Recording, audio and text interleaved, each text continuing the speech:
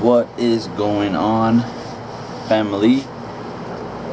Um, today's video is going to be about installation of a crank sprocket on the SRT4 I have not really seen any videos online about them um, no I haven't really been reading um, any posts about them online or anything so um, I have to give a shout out to Freedom Racing Tools and Auto LLC. If you've never heard of this website, uh, these people specialize in uh, tools. They have a ton of tools. They sell tools, um, a bunch of. They sell actually a bunch of things online.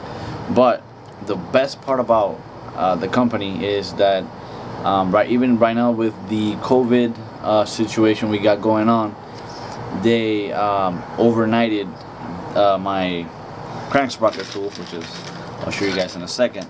I had an issue with my card, and uh, even though I had an issue with my card, they called me up to to let me know that there was an issue that you know to give them the information and so they can ship it as soon as possible and they still uh, shipped it overnight and I'm very very thankful for that you know again Freedom Racing Tools shout out to you guys this is the tool that you guys are gonna need to install the crank sprocket on your SRT4 if you're doing an oil pump um, whatever if you just want to you know replace it.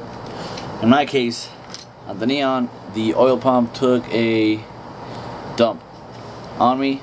I uh, did a pull and snapped my belt and also got an oil light.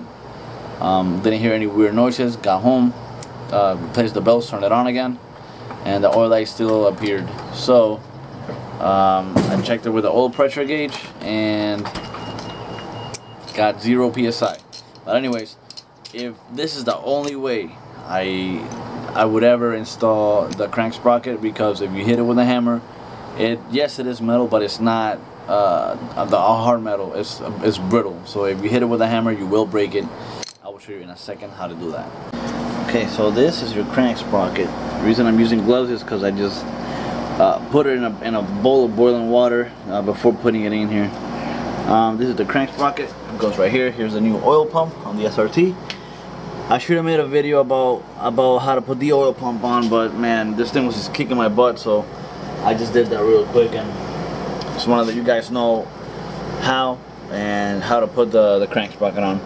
So I, I spray a little bit of uh, oil there, oil in the inside of the crank sprocket. See here it says, uh, where is it at? It says front. So uh, this faces the outside of the vehicle. This goes to the oil pump right here. You see the notch in here? Put that notch align that notch with let me turn on some light the the the notch with this part over here on the oil pump or on the uh, the crank. Give it a good push. And install your tool.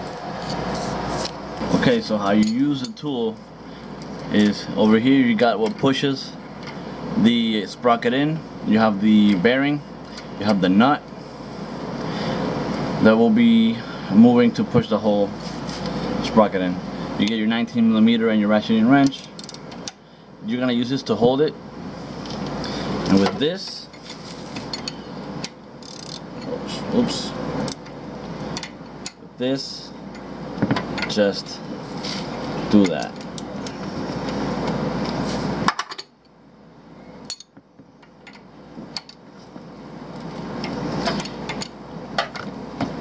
drives it in no problem.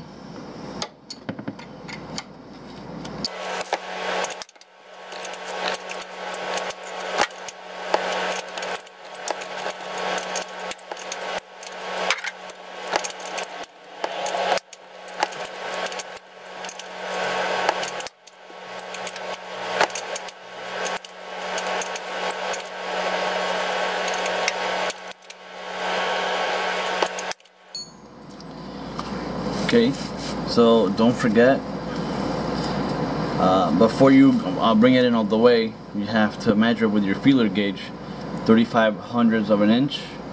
This one's a little, uh, a little blurry, you can't see, let me see if I can. There you go, 35 hundredths of an inch.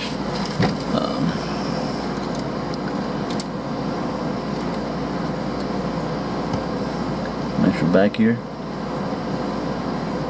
You still have a, a while so you can keep going.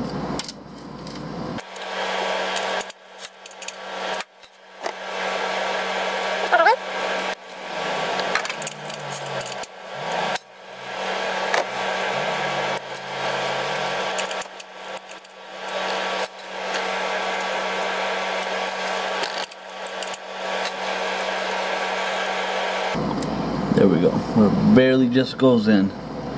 So 35 hundredths of an inch and you're set.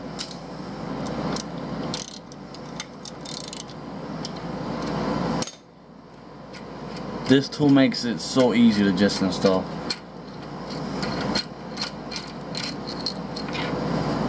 Boom.